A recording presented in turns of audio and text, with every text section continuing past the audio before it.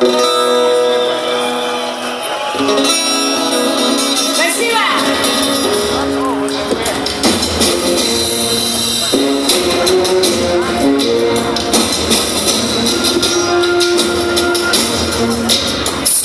год, как Крым воссоединился с Россией.